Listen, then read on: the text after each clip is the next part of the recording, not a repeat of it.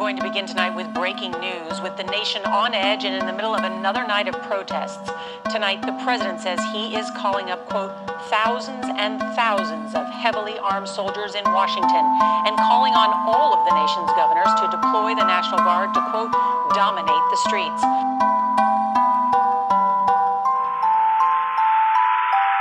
I'm fed up with the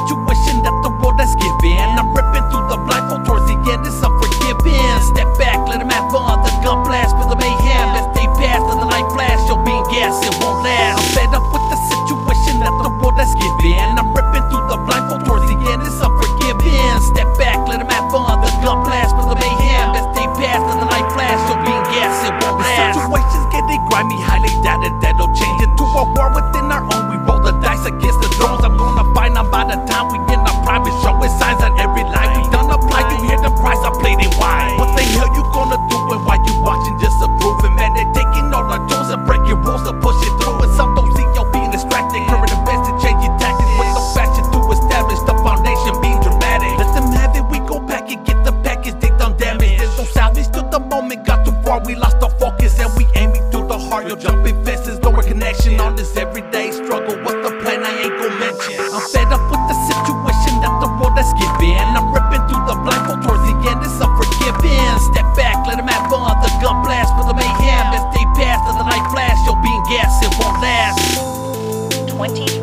have already called up the National Guard, and more than 40 cities, including New York, Washington, and Los Angeles, are now under curfews. I'm fed up with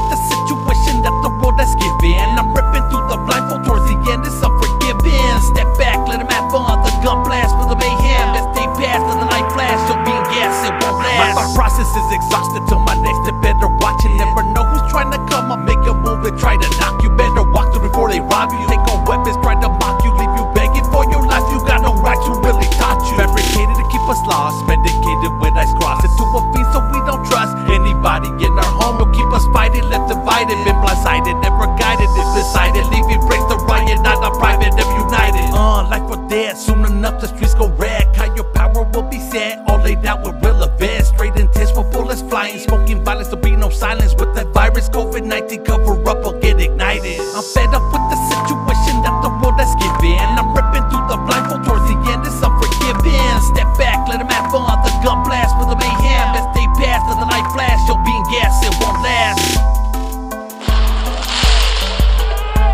But the dark of night has brought anything but peace. Protesters faced off with police, torched cars, broke windows, and looted businesses.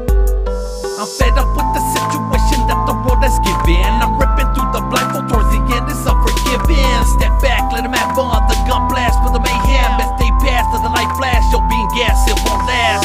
Some tense moments this evening, but we've been watching police as they have been taking demonstrators into custody. We are two and a half hours into the curfew, quieted down noticeably.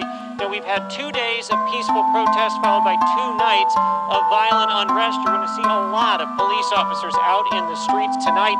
The goal is to keep things peaceful.